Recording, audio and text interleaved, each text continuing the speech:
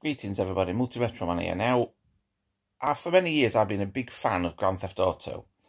I can't say I'm particularly keen on the shooting, that type of stuff, Do you know what I mean? I'm not bothered about that. The fact that it's a sort of an open world game that I enjoy.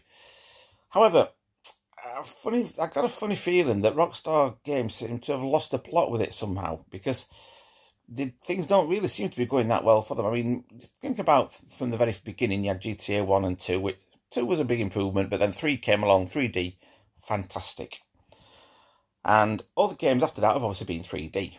Now, GTA 5 was obviously one of the main things that got them loads of money. Um, I had it on the Xbox 360, and then I purchased a, an I got a PS4 purely because the the game had you know first person's perspective driving, so you could actually look in the car, which I thought was fantastic. The lights on the back of the controller were brilliant because they changed colours depending on what was happening. So whichever character you were, it changed the colours. You know, the police, it had flash sort of blue and red.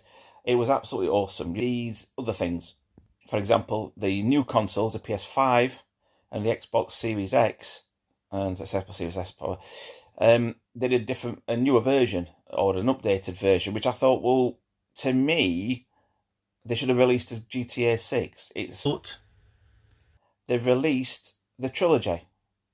You know, GTA 3, Vice City, and San Andreas as a as a pack, which I thought, why would they do that? Because obviously they want people to revert back. Now, but I would have thought that they would have done something like Liberty City Stories, that type of thing that they had, where it, the the game, if you like, was different. It had different stories to it, but it appears that it hasn't.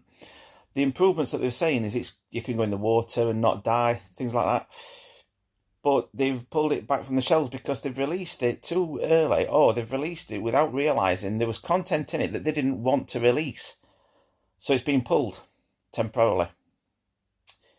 I think it's a big bad move to be honest, and people will just get people getting already fed up with the fact that they're just releasing add-ons that type of thing for GTA Five on newer consoles rather than releasing new stuff, new games.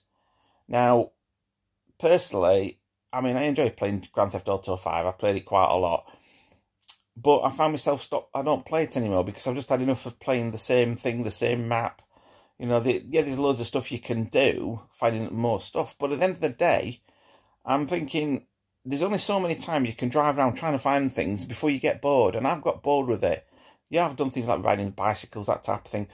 But I really don't see the point in having a game that is just basically being rehashed or re just having different graphics. You know, it, it's all well and good, but for like on the PC, there's been various add-ons for, for like um, GTA 4. You know, like they've done different updates on GTA 4 with better graphics, so they look ultra realistic and amazing.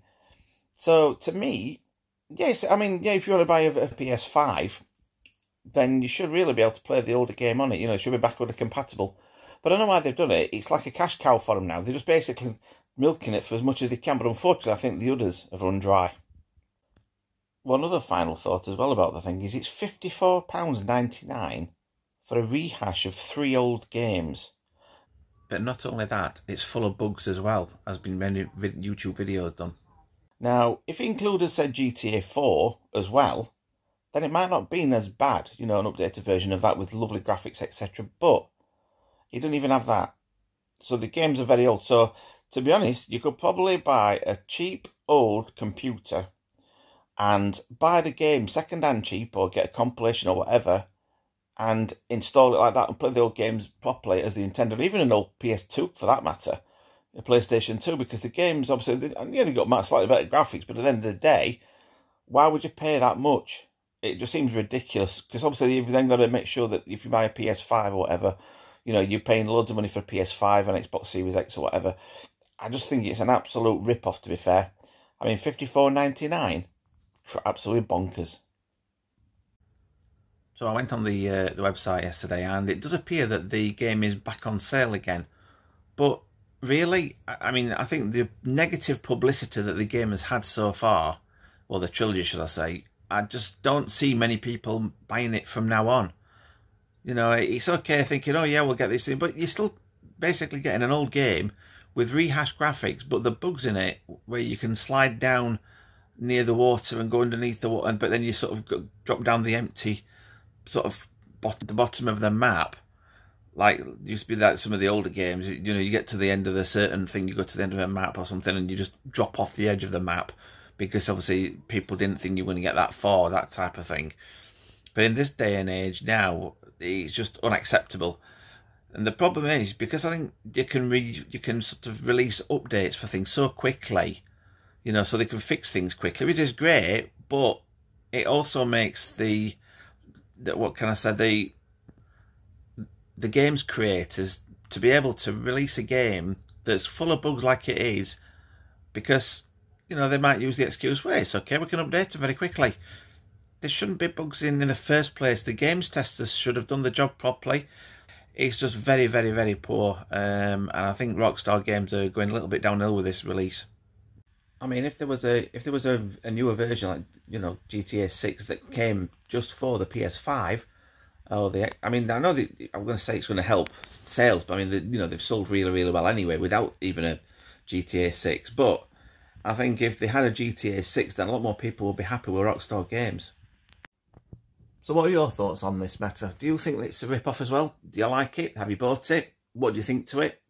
Let me know in the comments and stuff and consider subscribing. Give a thumbs up if you like this video, thumbs down if you didn't. And like I said, thanks very much for watching. Take care everybody. Bye-bye.